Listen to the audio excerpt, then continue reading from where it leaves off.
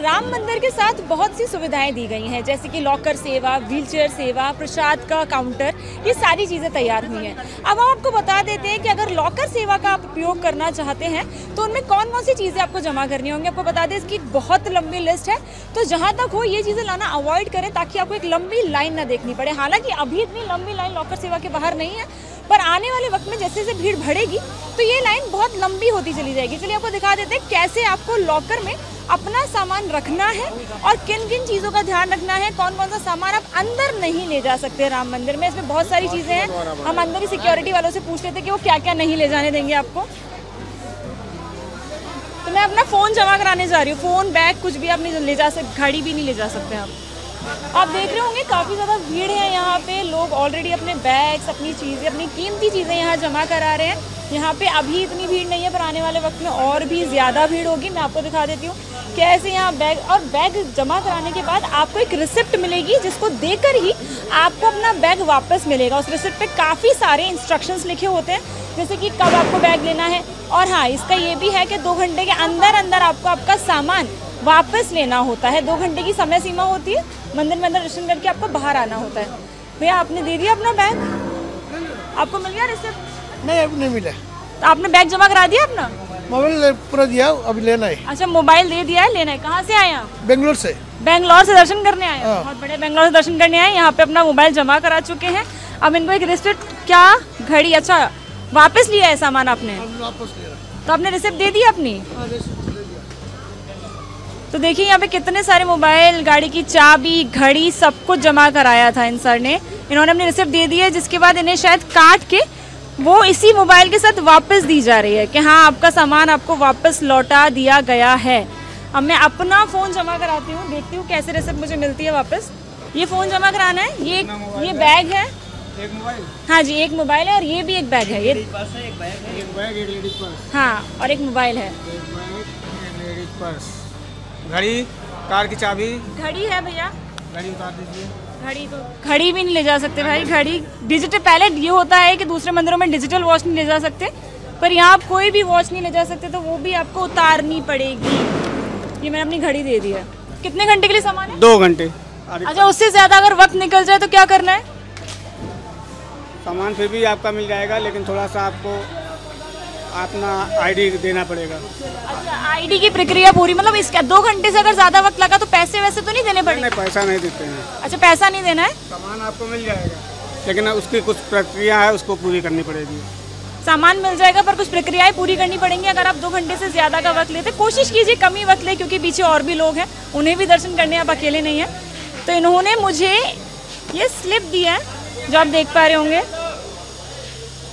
ठीक है, इसमें काफ़ी सारी इन्फॉर्मेशन है कि मैंने कितने मोबाइल कितनी घड़ी, कितने बैग जो है जमा कराए हैं और एक ही चाबी दी है मेरे लॉकर की ताकि वो मेरे पास सामान जो है वो सेफ़ है लॉकर में लॉक हो चुका है। अब हम सिक्योर इसमें देखिए एक बार ये पढ़ के बता देते कि इसमें क्या क्या चीज़ें हैं।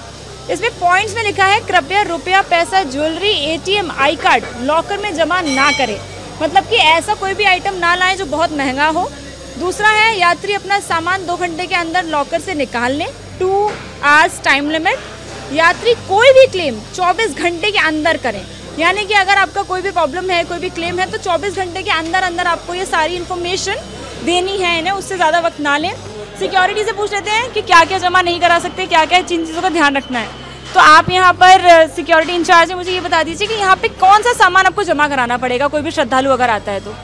बैग बैग जमा कराना पड़ेगा, मोबाइल, घड़ी, पेन और ये इलेक्ट्रॉनिक कोई भी सामान है। वो यहाँ जमा होता है। ठीक है ज्वेलरी वगैरह पहन के जा सकते हैं। ज्वेलरी पहन के जाए यहाँ जमा नहीं होती है। अच्छा ज्वेलरी जमा नहीं होती है। कैमरा कैमरा भी जमा होगा? कैमरा ईयरफोन भी कोई भी इलेक्ट्रिक आइटम कोई भी? जमा होगा। वायर वाला या फिर बर्ड्स वाला? कैमरा भी जमा होगा। सब जमा होगा। मतलब इन्होंने बता दिया है कि जितना भी सामान आपके हाथ में होगा वो सब जमा होगा। एक और कुछ लोगों से और पूछ लेते हैं यहाँ पे किन किन अभी जैसे वैसे तो बहुत लंबी लाइन लगती होगी अभी ज़्यादा श्रद्धालु नहीं आए लाइन नहीं है। तो मैं कहना चाहूँगी सबको राम राम। राम जी के शरण में हम सेवा में लगे हुए हैं। यात्रियों का स्वागत है हमारे अयोध्या भूमि पे और हम सबको प्रणाम करते हैं। और इस कंपनी को भी बहुत सहयोग आप लोग दीजिए, आगे बढ़ाइए, क्योंकि हमारे सर लोग बहुत मेहनत कर रहे हैं। कहीं कोई गलती अगर होती है तो इसके लिए क्षमा। यहाँ पे सेवा दिया गया है लॉकर का।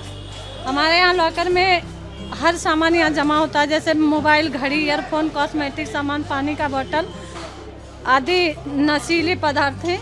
अगर पान गुटखा मसाला हो गया और सिगरेट हो गया और इलेक्ट्रॉनिक चाबी है फोर व्हीलर की यहाँ पे सबमिट किया जाता है। अब बाकी लोग फिर अपना यात्री लोग जाएँ भगवान जी का दर्शन करें।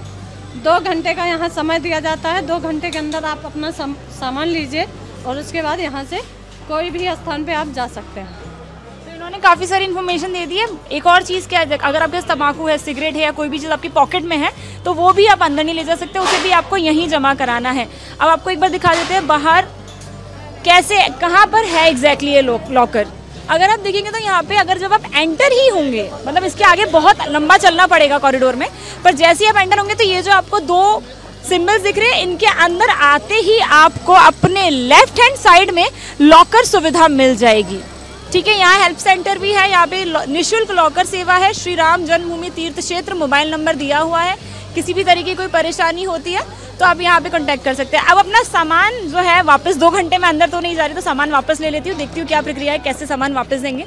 ये मेरी स्लिप है, ये मेरी चाबी है। तो अब ये भैया जो है, मेरा लॉकर खोल रहे हैं और उसमें से सामान निकाल के मुझे देंगे।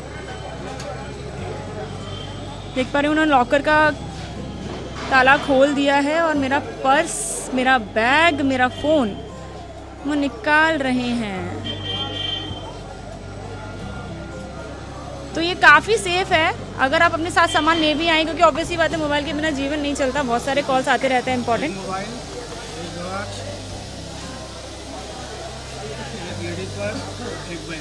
तो आप देख रहे होंगे, मेरा मोबाइल मेरी वॉच जो इन्होंने मुझे बोला था कि वॉच निकाल दीजिए, मैंने निकाल दी थी। मेरा लेडीज़ पर्स और मेरा बैग। ये तीनों चीज़ें, चारों चीज़ें मुझे मिल चुकी हैं। अब ये स्लिप पे एक क्रॉस लगाएँगे और मुझे ये स्लिप वापस दे देंगे, सामान के साथ। तो मेरा पूरा सामान मुझे मिल गया है, ठीक है? यहाँ से आपको अपना सामान उठाना है और आप जहाँ जाना चाहें, वहाँ जा सकते हैं। मेरा फ़ोन, मेरी घड़ी भी मुझे मिल चुकी है वापस। तो अगर आपको भी लॉकर सुविधा का फ़ायदा उठाना है तो इस तरीके से आप अपनी लॉकर में सामान अपना ज़रूरी रख सकते हैं। और अपनी जो कीमती चीज़ें वो भी यहाँ रख सकते हो। बिल्कुल सेफ़ है। और बहरहाल इस चीज़ का ध्यान रखिए कि दो घंटे से ज़्यादा का वक्त आप ना लें। तो ये था आज की वीडियो। ऐसी ही तमाम वीडियोज़ और अपडेट्स के लिए जुड़े रहें इंडिया टीवी के साथ।